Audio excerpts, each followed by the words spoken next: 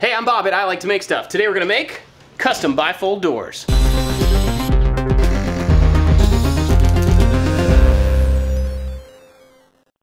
If you remember, not too long ago, we made a really big closet in my boys' room and I didn't put doors on that closet. That's because the kits that you can buy to add closet doors only come in a few styles and they only come in a few sizes. The opening for this closet was kind of uniquely sized, so I decided to make some custom doors. This will help us get the look that we want and we can add some special features to make them even cooler. So we got this kit for bifold doors and comes with a track and all the hardware you need. And it's assuming that you're gonna buy the doors, cut them down to size, we're gonna make them instead. So really everything here is good to go except for this track. We just need to cut it down to fit the opening. To make these door frames, you could use pretty much any wood, but I had some leftover pre-primed MDF. This is from when I made the closet. I used it for the door jambs. I went ahead and cut it down into several strips that were an inch and a half wide. To make these doors, we're gonna put two of these pieces back to back and glue them into the frame. That would make one and a half inches here. But the kit that we got is expecting doors between one and one three eighths. Another problem we have is that these are pre-primed and gluing these together wouldn't work very well. So we're gonna solve both of those things at the same time, run these through the table saw to rip them down to the right thickness, and that will expose the wood so we can get a nice glue up. You could also do this exact same thing on a planer if you wanted to.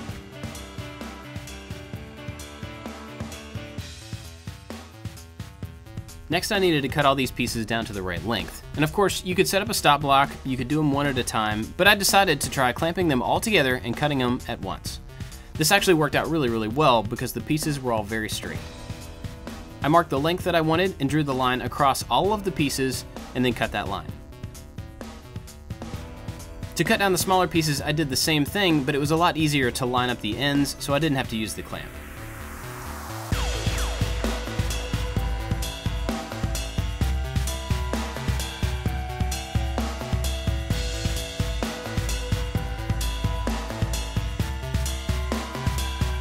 We've got eight pieces of each one of these cut and there's four different lengths. That's because each door is made of two frames and the frames are gonna lay over each other and overlap in a different direction. I'll show you that in just a second. When we glue all that together, it should keep it strong and help it to stay straight over time. On this bottom frame, I've got the centerpiece here flipped over so you can see the difference. On the top frame, this piece is longer so that it overlaps here. It basically makes a half lap joint. Then these side pieces actually fit down in here. So now we just gotta glue all that up.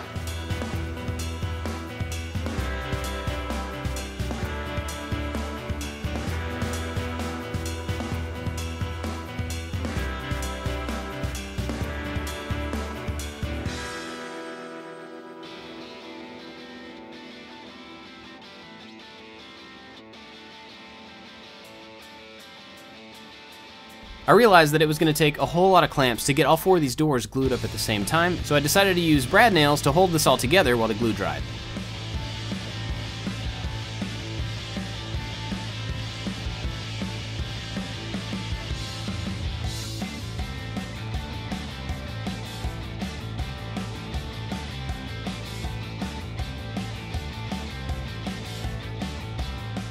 And after those were all glued together, I put a rabbeting bit in my trim router so I could cut a rabbet all along the backside of each one of these doors to accept the inset panel.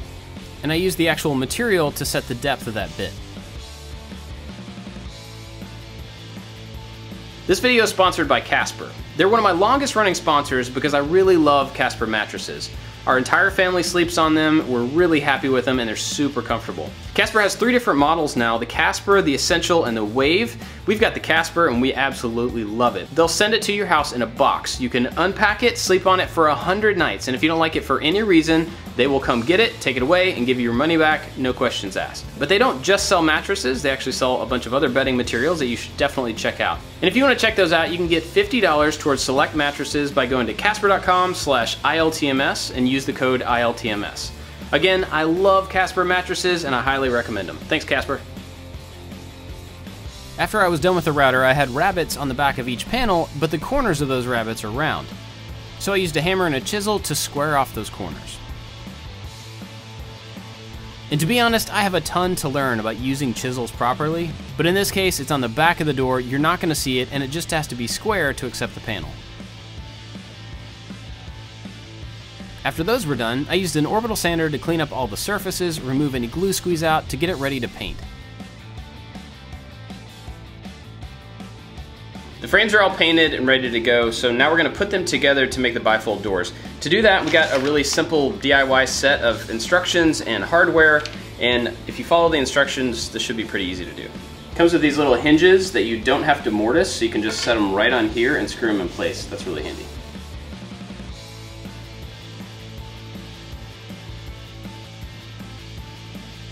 To drill these holes, I'm gonna use this, this is like a self-centering drill bit. It has a little spring thing on it.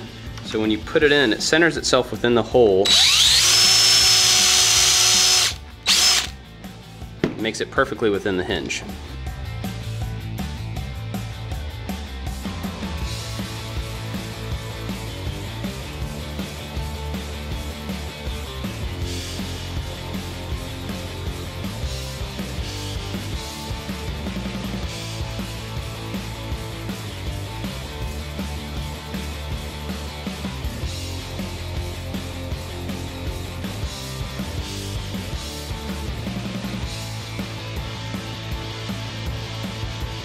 These kits are really easy to put together. All of the instructions are simple and straightforward. They give you all the measurements and every piece of hardware you need to put these together. Each one of the doors has three points that it's connected to the frame by. There's two at the top that are spring loaded, so you have to drill a hole and then knock in these spring loaded pieces into that. One of them has a wheel to help it to move freely in the track, and the other one gets fixed in the corner. On the bottom, there's a sleeve that gets knocked into place, and a little foot that can screw in and out to adjust the height.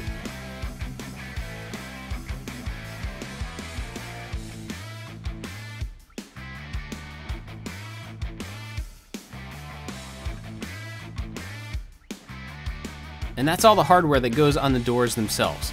Next up, it was time to cut down the panels. I used some whiteboard material for this, but you could use really anything. I wanted something thin that would be lightweight and something we could easily CNC. Of course, you don't have to CNC, but I had a cool idea for putting in a design that would take advantage of the fact that this material has a thin coat of white on the top. Once I got the pieces cut down to fit in the frames, we moved to the CNC to cut in the design. Josh worked up a geometric repeating pattern that we could put on each one of the panels and it would look as if it carried across all four of them. We did several test cuts here, also trying different ways to hold down the material. We also ended up putting a little ledger on the left and the top, so we had a jig to put all the pieces in so that they all got cut exactly the same. Now I haven't gotten around to fully flattening the bed yet, so there were some high spots and low spots when we cut these.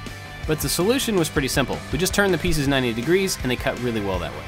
And after we had that process down, we cut all four panels the same way. I wanted to make sure that these panels were removable so we could swap them out in the future. And to put these in, I got some glazer points. These are just little metal points that get knocked in on the backside into the frame.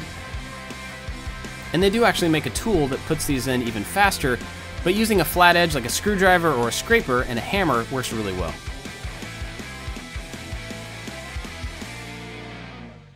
The backs of these panels are still brown, and that's not because I'm lazy, it's because they have spray adhesive on them from the CNC. That adhesive has not set up yet, so it's still a little sticky, so I'm gonna move on with the project, and after that dries, I'll take them down and paint the backs white. The panels are in, the hardware's in, so the doors are done. So now it's time to hang them up, and to do that, we have to cut down the track to make it fit within the opening.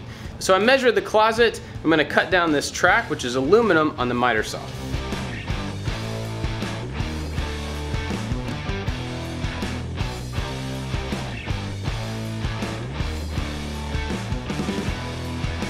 The location of the track is really up to you. It doesn't matter if it's all the way in the front or all the way in the back. I went a little bit forward of center just so that the gap on the front side of the doors wasn't too big. After screwing that in, I also screwed in the feet that go in the bottom. These go down into the plate and into the side of the door jamb. And the important thing is that the center of the track and the center of those two feet are all in line. So I just measured all of that from the front edge. After that, the doors just kind of pop in place. It's really easy.